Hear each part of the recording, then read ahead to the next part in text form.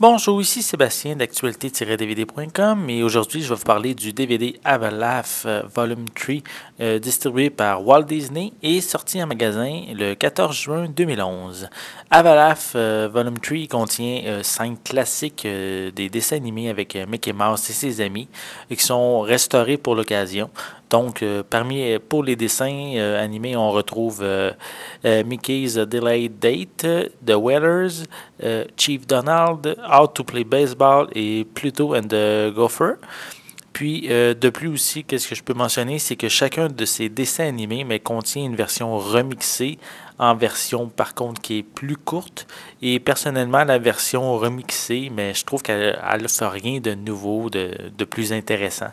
Donc, euh, j'ai préféré, je préfère, moi, visionner la version euh, d'origine. en plus, on a également une section qui s'appelle Blam avec euh, trois cours, euh, trois courts montages, soit golf, cuisinier et planeur, et euh, qui présentent une série d'accidents ou de cascades avec des personnages de Disney. Et on a également une section qui s'appelle Remix Dance Party qui présente la chanson I Got the Feeling des Black Eyed Peas avec de vieux extraits de dessins animés de Mickey Mouse. les dessins animés sont disponibles en anglais, français et espagnol stéréo pour les dessins animés originaux et 5.1 pour leur version remixée.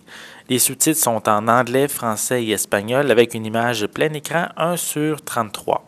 Le seul contenu euh, supplémentaire qu'on retrouve, euh, ben, c'est des bandes annonces comme à l'habitude sur les DVD de Disney.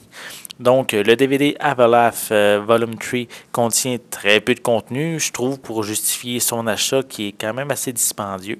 L'avantage, par contre, est que la piste sonore française est, c'est maintenant disponible sur ces dessins animés qui sont des classiques.